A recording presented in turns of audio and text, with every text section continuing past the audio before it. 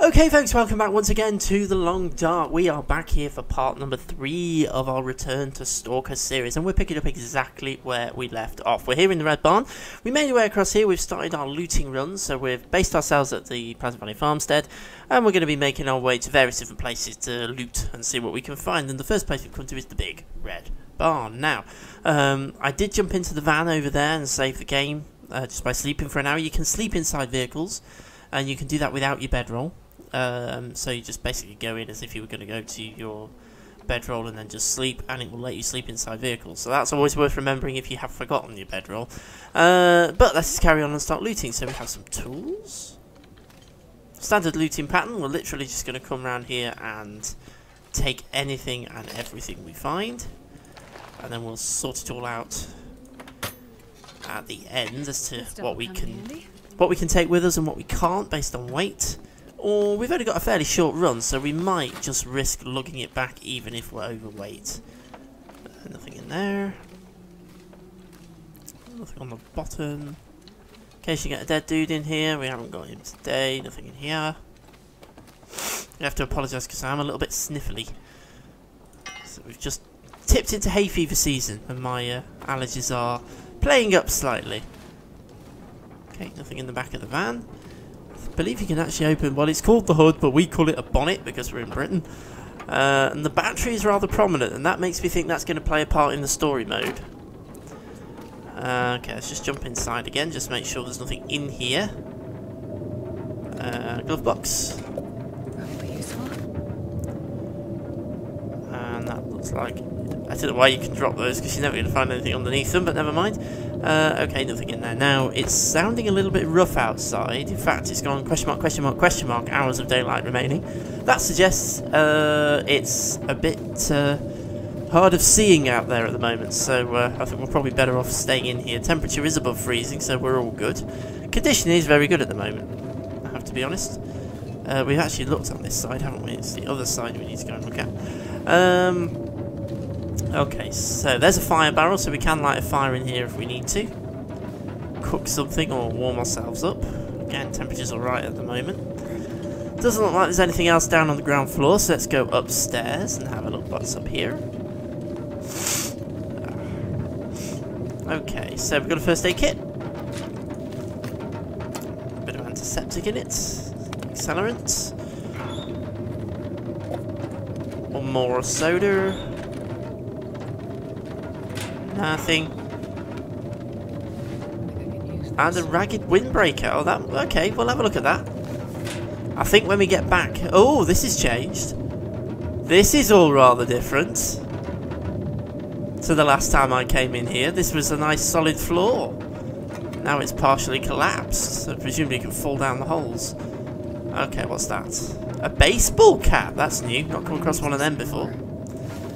First time I come across a baseball cap. Okay, what we got in the drawer? Bit scrap metal and obviously a book. Which isn't one of the ones we can research, but we will do a little bit of research while we're here waiting for this storm to pass. Okay, nothing in there. Stale chocolate bar. This stuff will come in handy. I've got plenty of whetstones, I tell you. I think it's about three of them I've got now. And what we got down here? Okay, so that's pretty much it. Um, we can break some of these crates down for firewood. I think I might do that because we are a little bit short of firewood, so I'm going to do that. Let's break down one of these crates. Because I'm okay with weight, so I might as well... Uh... Oh, it's going dark now as well, just to add to the complication. In fact, you can break these down for tinder as well. I'd forgotten about that. Cardboard boxes you can break down for tinder. So we might as well do that. It's not going to take very long. It's gone pitch black up here now. So that's, uh, it's obviously now, oh no, we are still technically in daylight, but obviously we're pretty close to darkness. So I think we're going to wind up sleeping here, so let's do that. You can open the fuel cover as well. Let's just jump inside. Obviously we need to eat and drink and do all that good stuff before we go to bed. So let's, uh, I'm going to eat, well, let me drink that soda, because that's quite low calorie-wise, we're probably alright, so I'm just going to drink. I haven't got much water with me. I've got some obviously back at the farmstead, but I haven't got very much with me. Okay, so now to sleep, what we do is go here, and we go here, and we can sleep. And I'm going to try sleeping for six hours. We're not that tired, so I have a feeling it might well wake us up. We're going to end up having to pass time. Okay, we've got seven hours of darkness left. It is properly pitch black. We're pretty much rested, so we're going to have to pass time, I think. If I pass time for four hours, and then sleep for the other three, or sleep for about four, maybe.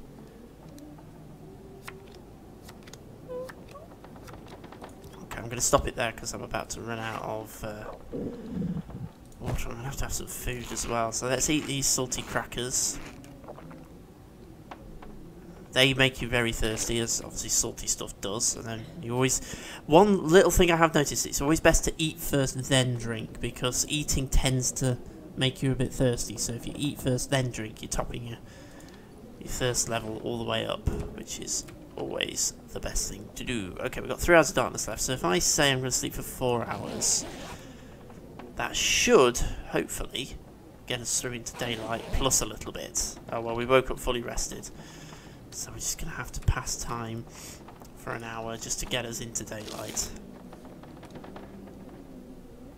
Well, not quite into daylight, apparently. Well, we are in daylight, but we're very early in the morning, so it's kind of more like dawn. Well, we've pretty much stripped this place down. I don't know where we stand on carrying weight. So we've got a bit of carrying weight. So, got any more crates? Big crate. Well, uh, there we go. So that's just bringing back some firewood. I'm only. I don't normally do that. In all honesty, I'm only doing it because we are okay on our carrying weight, so we might as well take advantage of having that extra carrying weight to bring back some firewood.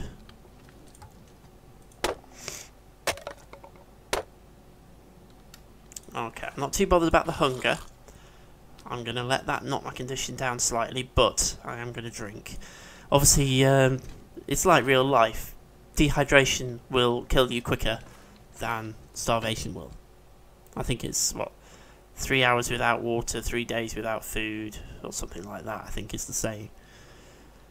So it's always best to keep your thirst. I'll die if I don't get food soon. Oh, that's good. It's quite cold. That well, what she just said isn't good, but it's the weather is good. It's nice and clear. Um, it's not too cold either. Although obviously we're wearing quite a lot of uh, layers. Okay, what I am just going to do is have a quick wander around these outbuildings and just see if there's anything worth finding. There probably isn't, but we'll have a look. We don't want to leave stones unturned, so let's jump in and have a quick nosy. We're probably going to find little things. Again, these are good places to hide. If wolves and things come along, you can jump inside vehicles.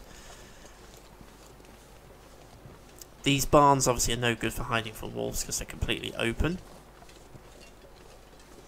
This one here might provide a little bit of shelter. So there might be a little corner of this.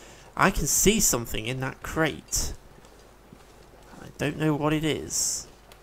It's a piece of wood. I might as well have the crate as well. there we go. Um, with those two crates. Nothing in there. Oh well, at least we got a bit of firewood out of it. Again, apologies for my sniffling. We've hit hay fever season. I carry much more. Okay, I'm just going to head over to that archery board. I know that we're now uh, slightly encumbered, we're slightly overweight, but don't worry about that because it's only going to be very slight. And it shouldn't make a massive difference. You know what, I'm not going to go over to that archery board because the wolf over there, so I'm going to... I was after the arrows. They'll still be there. I'm sure they'll still be there if we come back this way. So what I'm going to do, I'm going to head back to the farmstead, which is obviously across this uh, field.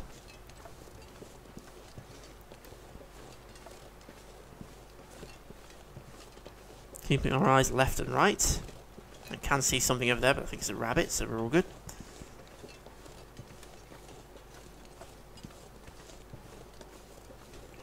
Ploughing ahead. Temperature's not too bad. We're actually doing okay. I think that's probably because um, we've got so many clothes on. That's that's really helping us here.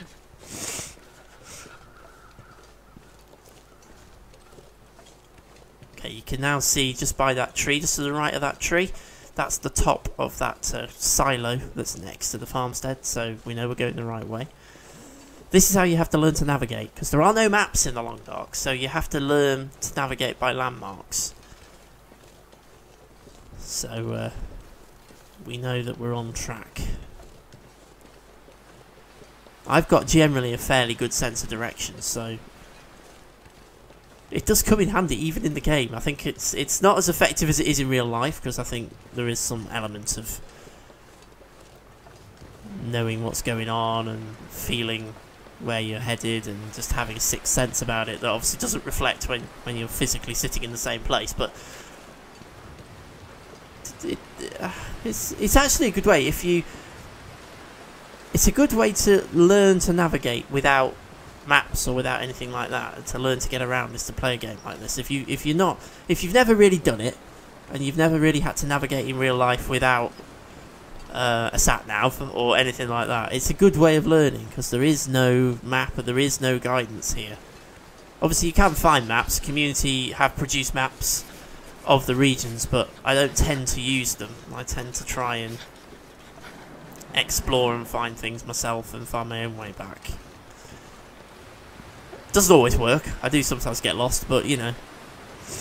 Okay, so crossing the river again. Heading back up the other side. Obviously, temperatures dropped and the wind's picked up, but we're still okay. We're still in pretty good condition. We are hungry, which is why our condition is very slowly dropping, but it is only dropping fairly slowly. We're doing alright. Okay, this is uh, keeping an eye open as we come over the top of here. My feet. Got the orchard, so we know that we are by the farmstead because of this orchard. There's the silo. There's the farmstead. Now let's just check over the hill. Make sure there's nothing lurking around. You do get bears around here. This is a good place to base yourself, but it, there are bears and there are things that do wander around here. Wolves. Okay, so we're going to get ourselves into the farmstead and then we're going to sort through our loot. Get it all put away and sorted out. Do any little bits of housekeeping we need to do before we consider our next move. So, let's get ourselves organised. So first thing we're going to do, I think food-wise, it's probably not worth dropping any of the food we're carrying off because we've not got very much, so we won't worry too much about that right now. Um, I don't know if we picked up any weaponry or anything like that, did we? No, but we did pick up a spare uh, pry bar, so let's drop that spare pry bar and the two whetstones. We don't need to be carrying them. Now I think I've actually been leaving... Have I been leaving these downstairs? I'm going to put a pry bar there. I'm going to put one whetstone. And then I think actually we'll put the other one downstairs out of the way. Let's break that down, purely because it's annoying me being in the floor. There we are. Uh, right, what else am I carrying? Um, okay, tools will go downstairs. That will go downstairs. Those will keep up here somewhere. I don't really know where. I'll keep them in the fridge. They're not technically food items, but we'll we'll keep them in here. Just for the sake of argument. Rose hips. Uh, right, crafting materials we'll take downstairs to the cellar. Uh, first aid supplies, yep. We don't need to be carrying two bottles of antiseptic, so let's sort that out. Uh, we'll take, again, the worst one of the pair. Fire starting materials. We've got quite a lot of those, that's what's making most of the weight up. So if we stand over a little pile of reclaimed wood and drop what we're carrying, that adds to the pile, so we're doing really well now on fuel. Uh, book. Drop the book. Keep that, keep that, keep that. Tinder plugs. Can I? Let's see. Tinder plugs, uh, I'm going to drop in this corner here, because I don't need to be carrying that many of them, so I'm only going to, I'll drop five of them. Sticks, I'll keep carrying those, I'll keep carrying, okay, that's cool.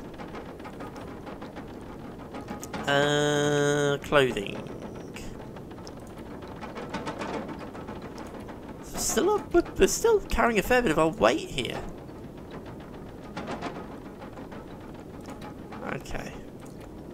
Carrying some spare clothing. Let's just go into the clothing system. Okay, which is the better option? Hmm. Hmm. I'm going with that one. Okay, and what are we carrying up here? Okay, that's definitely not the better option. Okay, cool. Right, let's go and get rid of that baseball cap then, because that apparently is completely useless. And while we're up here, I might do a little bit of clothing repair, just to try and help sort out my uh, my clothing. Okay, so this is where I tend to keep my clothing. So let's get rid of that. Let's just have a quick look. I've got crafting. Let's have a quick look at some of my clothes. Oh, I'm not wearing that either now, am I? So that's... Let's get rid of that. I'm not carrying that anymore. Anything else? Not. Yeah. Okay. Cool. We're writing everything else. Um. Okay. I've got some clothing that's in less than great condition. So if I just, it's a bit hard to talk with all that noise going on in the background with this storm. Now, uh, which one of these is gonna give us the biggest benefit if we repair it? Now I would say probably the coat because it's the outer layer. So let's try and repair this coat. We have a sewing kit and we have some cloth and it's worked. That's awesome. So that's repaired at 26%. That now means that this is 74%. So that's actually much, much better. So let's now try and do one of the pairs of socks. So this is something that it's worth trying to do. Maintain your clothes. Use clothes um, that you don't need to use. They're now 100%. Uh, so use spare clothes, break them down, harvest them into cloth, and use a sewing kit and repair the clothes that you're wearing. So keep a good set of clothes. I try to try and keep a spare set as well. And obviously when you get to the animal skin stuff, uh, you're absolutely doing brilliantly. But you need to try and just repair your clothes, keep them in good condition, because the warmth bonus you get from your clothes does drop when the um, when they start to become warm and when the condition's quite low. So we've repaired our underwear, our coat and our socks. So they're now in much, much better condition. So the overall warmth bonus and the overall resilience of this stuff is going to have increased. Uh, obviously we've still got a few more here, uh, which are not in good condition. We've run out of cloth though. Now we can harvest cloth from stuff that's in here that we're not going to use.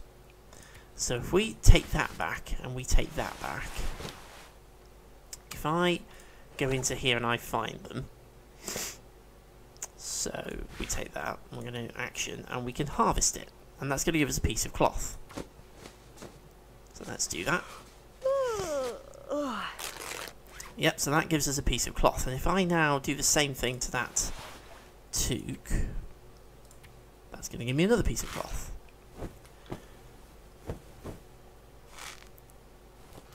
Yep, so that's now given me some spare cloth. And it's got rid of those clothes that we're not going to use. And now we can use that cloth to repair clothes that we are using. So that's that's resource management, making the best use of your resources. So that's what we're going to do. Cool. Now, I am sort of trying to ration my repairing across um, everything that I've got. So I'm trying to get them up to a reasonable level, not necessarily 100%, but a reasonable condition level, um, and spread my repairing across different things. So I've basically only got two things here that now need any repair work, but our warmth bonus should now have gone up quite quite well because we are wearing um, better quality clothing. We're at 11% now warmth bonus, and a plus six degree windproof bonus, which means at the moment it feels like it's 12 degrees in here and that's really really cool. Um, our sprint is at 80%, which is fine, and we're at 24% protection from attacks and things like that. So we're actually, it, it's pretty cool. Now, I am wearing a full complement of clothes here. I've got hat, scarf, gloves. I've got two pairs of trousers on, underwear, two pairs of socks, boots, uh, and then I've got four upper layers, and that's obviously because it's so cold outside. Now, Some people advocate removing clothes when you sleep because of the condition degradation. snow and nothing to drink. Be quiet. Um, because of the degradation of your clothing. Now, I don't bother with that. And the reason I don't bother with that, and I've seen other people do this, is that I will always forget to put the clothes back on again. I will then walk outside and freeze in seconds. So I'm not I don't do that. I always tend to leave my clothes on. Some people say take them off to help with the condition. I've never found that to be a problem because I've always been able to find enough resources to repair my clothes for hundreds of days. So I don't worry too much about that. Okay, so we are virtually in darkness. So I am going to eat, drink, and sleep in that order. I'm going to use the MRE. You'll notice that the conditions dropped to 91%. That's because I've been starving all day and I haven't eaten anything. That's the sole reason for that. Now, so I'm a little bit short of water. So it's not fully um, sorted my thirst out. So I, I probably need to go and get some more water from downstairs. Because I have obviously got some stocked. So I'm going to go and get some more from down here. Now I think before we try and go anywhere else, I think we need to have a mass um, water production run. So I think that's probably what we're going to be doing next. Once we've been down to the cellar and sorted ourselves out down there, I'm going to uh, do a mass water production run. I don't know why I was coming to this bedroom, by the way. Uh, right, we'll just uh, drink our fill. There we go. Uh, tiredness, uh, we're reasonably tired. Okay. Let's try and sleep for... We'll try and do 8 hours, see if it'll let us do 8 hours. And obviously our condition will now start to come up. Because our hunger and thirst bars are at maximum. They're not in the red.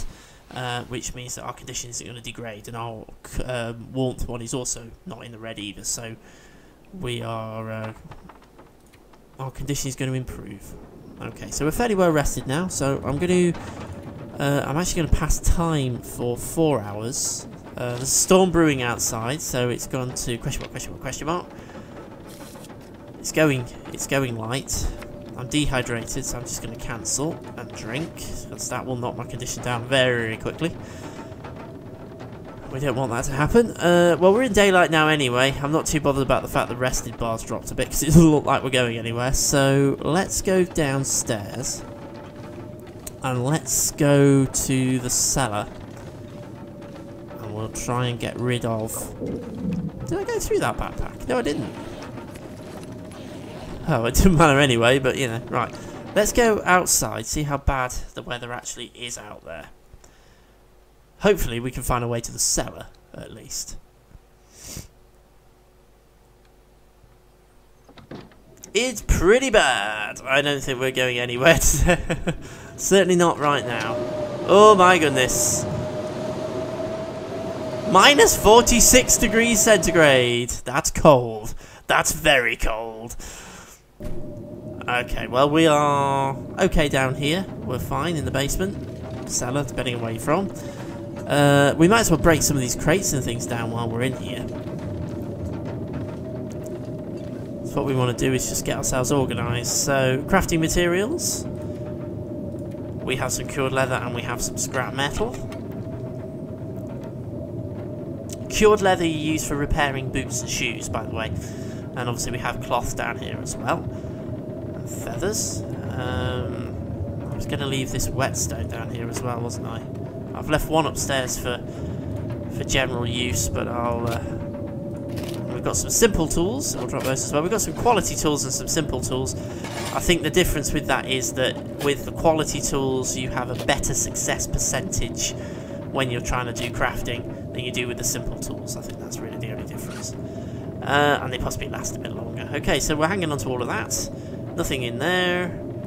Hanging on to all of that, hanging on to all of that, hanging on to all of that. So we're pretty much sorted. Uh, let's break some stuff down to get some firewood. We might as well while here. I think I probably need a hatchet for that one. Certain things you can break down without a hatchet, certain things you need to use a hatchet. So I haven't got a hatchet. Um, so big stuff I can't break down, but small things I still can. Again, I am starving, but I'm not too worried about that. The condition will drop, but it's fine. Obviously, the, the first one is the one that concerns me slightly more. because that drops your condition very quickly. So I try not to let that. I try not to get to the dehydrated point. We're definitely going to have to go off and do a little bit of uh, water production. Okay. I think uh, the wind has stopped, so I assume that means that we're better off out here now. So let's go outside. And we'll go back up, and we shall start our mass water production run. Um, I like to try and do this periodically as we go through, so we basically build up a massive stockpile of water. So, so hungry. Don't worry, we're working on that. Okay. Let's get ourselves back inside. Shut that door and head inside. Okay, so now what we're going to do, we're going to light a fire, and we're going to make a lot of water.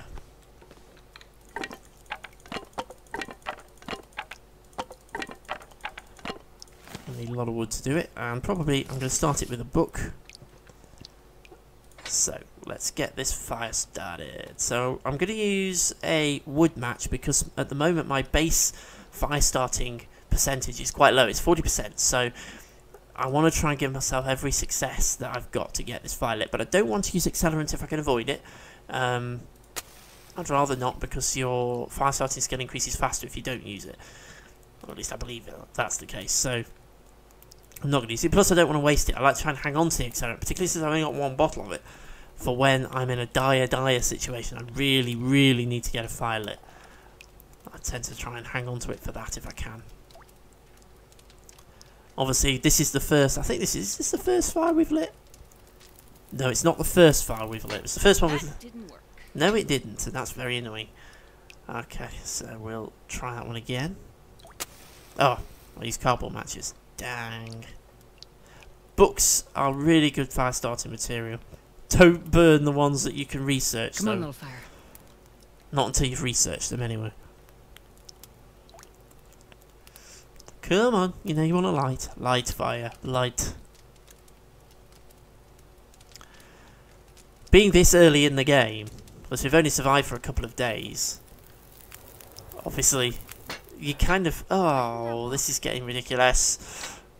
Okay, I'm going to have to go for the accelerant because I just need this thing to light at this point. I tend to say two strikes and then we'll just use accelerant. Okay, there we go. So let's get some firewood on this. I'm going to mainly use uh, reclaimed firewood. We've got about six hours of daylight left. I'm going to give myself seven hours. And our condition's going to drop, but I'm not going to worry too much about that. So let's sort out some water. I'm going to do it in five litre batches.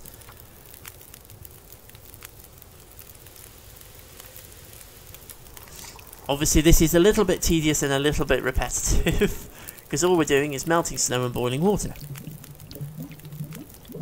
And I'm going to try and make as much as I can. So there's another... Obviously I'm, I'm aware that my condition is going to be dropping but I'm not worrying too much about that.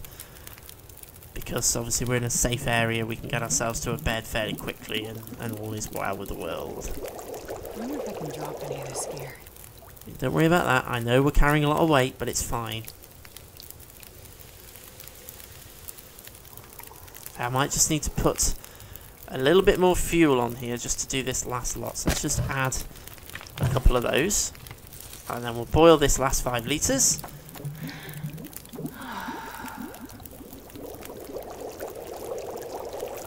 And there we go. So that, realistically, that did not take us very long at all. Um, and we've got ourselves 17 litres of water out of it, so that's not bad at all. So what I'm now going to do is I'm going to make my way upstairs and we're going to sleep, and then we'll put all that water away, and then we'll get ready to do our next raiding run. And that pretty much brings us to the end of the video. So let's get ourselves in this bedroom. It's a bit hard to see. We're in here. Here we are. And there we go, so we're all ready to go. So we've been to the Red Barn, we've looted it, we've come back, we've sorted out some of our so clothing, done a thirsty, I can't think be quiet. Can't you see I'm speeching?